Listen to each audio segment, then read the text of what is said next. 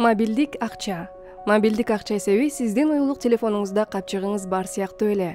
Мобилдик акчанын жардамы менен адамдарга акча жөнөтө аласыз жана ала аласыз. Ошону менен бирге сиз жөн гана телефонуңуз менен төлөмдөрдү аткара аласыз. Банк эсебинин кереги жок. Накталай акчадан айырмаланып бир нерсеге төлөгүңүз келсе жаныңызда акча алып жүрүүнүн кажети жок. Бул коопсуз жана жеңил дегенди билдирет.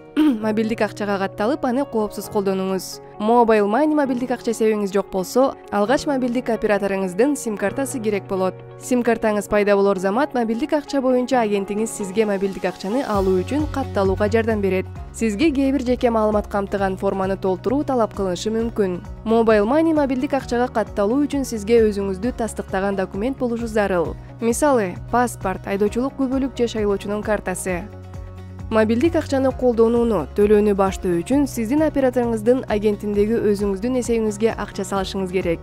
Же өлкөңүзгө жараша кээ бир банкоматтардан салсаңыз болот. Сиз өзүңүздүн эсебиңизге акча салуу же алуу керек болгон сайын агентиңизге кайрылыңыз. Бул кадамдарды аткаргандан кийин сизде мобилдик акча эсеби болот жана сиз мобилдик акчаны колдоно баштасаңыз болот.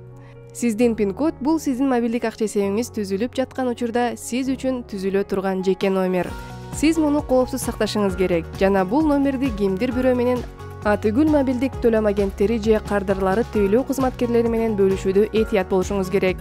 Пин кодуңузду терип жатканда экраныңызды жаап манжаларыңызды жашыруун кармасаңыз жакшы болот.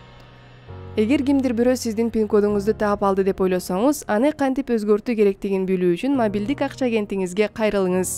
Мобилдик операторуңузга жараша мобилдик акча менен сиз төмөнкүлөрдү кыла аласыз алыста жашаган үй бүлөңүзгө акча жөнөтө аласыз. Жергиликтүү базардагы ишканаларга же соодагерлерге төлөм жүргүзүү үчүн мобилдик акчаны колдонуу. Ошондуктан накталай акчаны алып жүрүүнүн кереги жок. Коммуналдык төлөмдөрдү же мектеп төлөмдөрүн дароо төлөө чет өлкөдөгү адамдардан акча алуу жана жөнөтүү бир катар ишканалардын товарлары жана кызматтары үчүн төлөө аманатыңыздан пайыздарды ала аласыз насыя ала аласыз. Мобилдик акча транзакцияларды жеңилдетет тезирээк жана коопсуз кылат аны азыр сынап көргүңүз келеби. Мүмкүн болушунча тезирээк операторуңузга барыңыз жана мобилдик акчаңыздын максималдуу пайдасын көрүңүз